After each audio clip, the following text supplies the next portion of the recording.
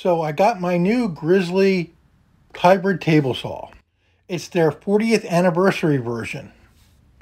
It's two horsepower. It's a direct drive saw, which I've never had before, left tilt.